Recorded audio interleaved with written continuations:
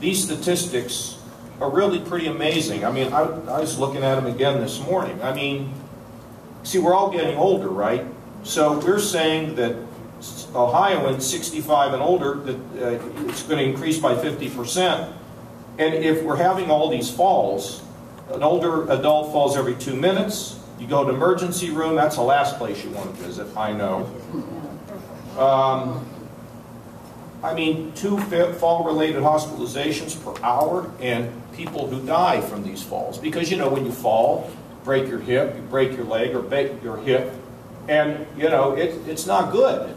It's, and so, look, there's no embarrassment for anybody to try to deal with their health issues. I don't care whether you're 9 or whether you're 90. It really doesn't matter.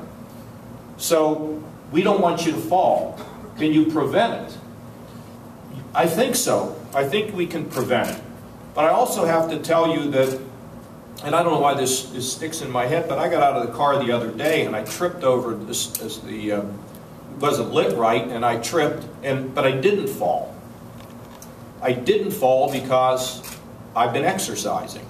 So I'm sort of in control as much as anybody can of my own body.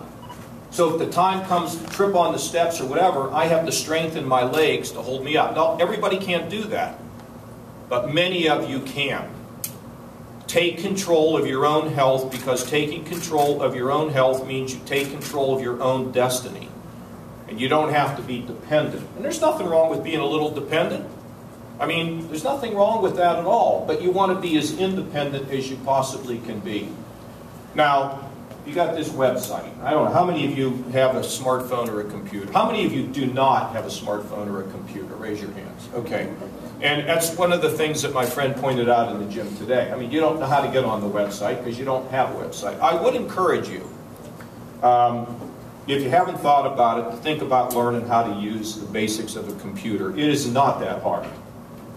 I know you're thinking it's really hard now. It is not that hard, and they ought to have some basic classes here just to tell you how to turn it on. So well, I'll tell you why. You want your grandchildren to be able to email you. That's how they communicate these days. Maybe you don't, want them to email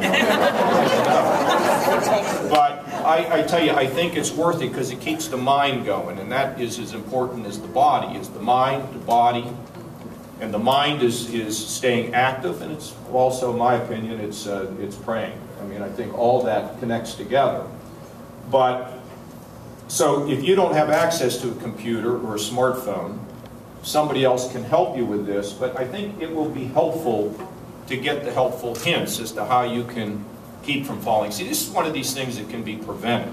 There's a lot of illness out there that no matter what you do, you, you can't prevent. But this is one thing. It's sort of like I try to tell people who smoke. Stop smoking, you can prevent illness. And, you know, that's a thing you can't prevent. And so, you know, trying to figure out how to be strong enough, vital enough, flexible enough, and I think that's probably what Tai Chi is, I don't know, it's about flexibility as well. Stretching, of which I'm not good at. I will tell you, I'm not good at stretching.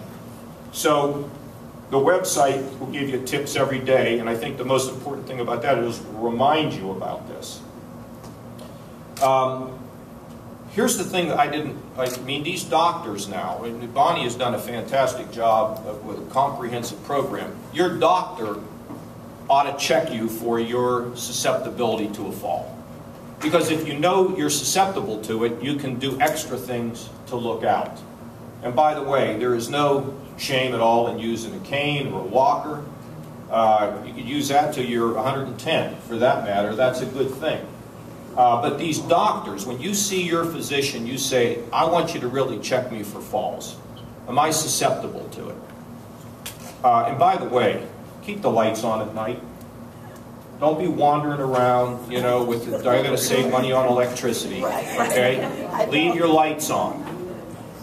You know, be careful in and out of that shower. I mean, you just have to oh, watch, and that's part of what it's scary, isn't it? Shower. Yeah, you've got to make sure that you, you get that design. Get your son in there to tell him to build you a darn shower that doesn't scare you because it's tr it's tricky. Yeah, it is. It is tricky, the slipping and all that stuff. I know that it is. Um, but ask your doctors. to try to test you out for this stuff. And if they say, well, you know, you're a little susceptible to it, okay, well, what do I do about it? It's no different than finding out you have high cholesterol. You know, well, what do I do about that? Well, I mean, you do something about it. The same way you can do something about, about preventing uh, uh, these falls through your doctor telling you and alerting you to what the issue is. Um, we're going to have the businesses. This is pretty good. She mentioned the retail merchants. These are just business people. These are the ones that run the Walmart and the Costco and all the different businesses around Ohio. They're going to make an effort to try to do things that keep you from slipping and falling inside their place, which might be slippery floors, shiny floors, dark areas, uh, places you want to go that where you can easily trip. They're going, they're going to work with all of us uh, to prevent these falls inside the stores, which we have to give them a lot of credit for, right? I mean, it's good that they're going to do that. That's really important. In our nursing homes, they're going to, um, they're going to, we're working on these nursing homes, folks, to make sure that they're, that they respect your independence. They're making sure that they are going to be places that are safe. And a number of these nursing homes are engaged in this and trying to make sure that it is a, a livable place, which is what's really important. That uh, you, know, you can eat your meals when you want to, you can exercise when you want to, you can get up and go to bed when you want to. You're not in the military where you have to take orders from anybody. This is, this is something that should be a home away from home, and that's what our ultimate goal is. And of course, giving you the assistance that you need to be able to stay in your own home if you're physically able to do it. And if you exercise and think and pray and eat right, you'll be able to stay in your own home longer and longer and longer.